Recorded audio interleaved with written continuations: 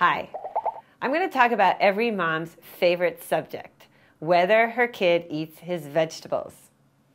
I don't know about you, but I really tend to worry about whether my kids eat their vegetables.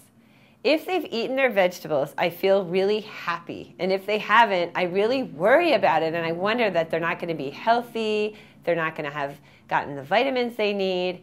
This whole thing is probably totally out of proportion because my pediatrician has assured me that if none of my kids eats a single vegetable before he's 10 years old, he'll probably be completely fine.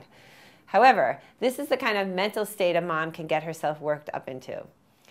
I have a pretty 70s attitude towards food, which for me means that my kids have to clean their plate, which means eat everything on it, including their vegetables, and if they don't, they don't get any dessert.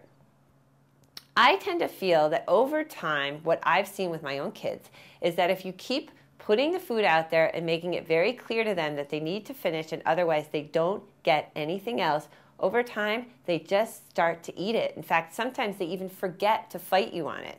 So, my advice would be try not to give in. If your kid knows you're going to give in and that if he doesn't eat all of his broccoli, you're still going to give him the cookie, he's never going to eat the broccoli unless he really likes it. Of course, some kids are much fussier than others, but I would say try not to give in.